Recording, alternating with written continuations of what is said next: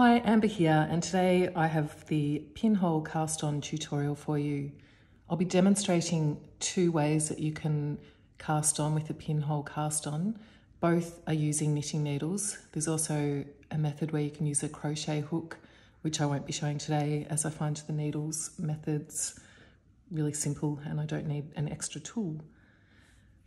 You'll use this cast on for knitting where you're working centre out, like this square was started here, eight stitches were cast on with the pinhole cast on and then it was knit out and bound off along these edges here. This cast on method is great to create a nice closed centered hole. You can tighten it by pulling the tail yarn and then when you finish the project, just weave it in to secure that nicely. Okay, let's cast on. You'll need your choice of needles, either a cable needle or DPNs. You'll just need one to start. And I'll show you the first technique, the simpler technique. So have the working yarn over to your right side and the tail onto your left. Loop the yarn, form a loop and just hold that in place with your thumb. So loop there. Then take your needle, insert it through the loop behind and work a yarn over. Pull that yarn over through the loop and you have one loop on the needle. Work a second yarn over. So now there's two loops on the needle and you're going to use your fingers just to pull that first loop over the second and that's one stitch cast on. So you'll repeat that for the number of stitches you need to cast on. Again, insert the needle through the loop, yarn over, pull that loop through, another yarn over, and this time you'll pull the Just Work stitch over that yarn over and have two stitches on the needle. So you'll just continue this process the number of times needed. Insert the needle through the loop, work a yarn over, pull that through the loop, work another yarn over and pull that just work stitch over the yarn over and continue until you have the required number of stitches. Eight is common. If you're knitting the supernova shawl, you'll need 10. And then you can just tug on the tail end of the yarn to close that loop in.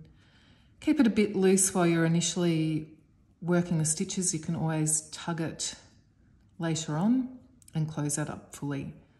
But you'll want the you don't want the stitches too tight when you're knitting that first row. And continue according to the pattern. You'll need to spread the stitches out onto multiple DPNs or divide them up to work on the magic loop. Okay, for the second cast on. So need the yarn and needles, whichever needles you prefer to use for working in the round. Have the yarn, the working end of the yarn on the left side and the tail hold in your right hand. Use your thumb to hold the yarn in place and wrap over the top of your fingers and under and have the tail yarn dangling over the back there. The working yarn is here underneath and use your thumb to hold that in place.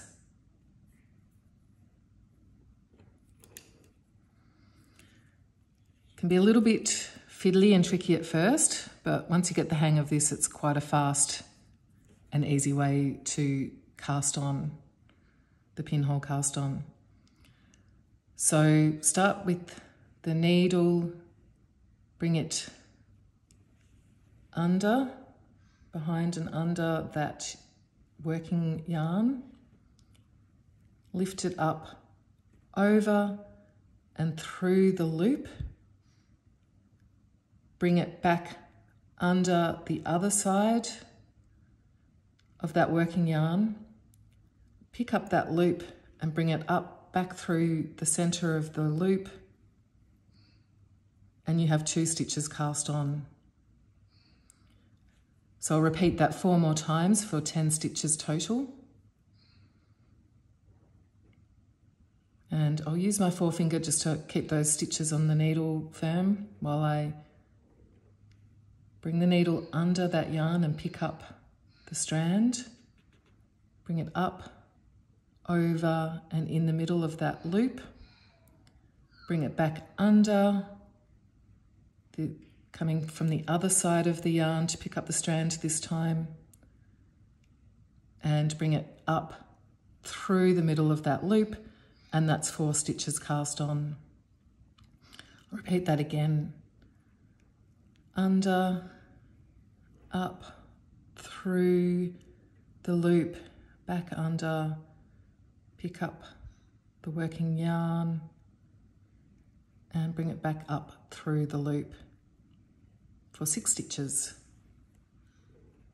And again, that's eight stitches.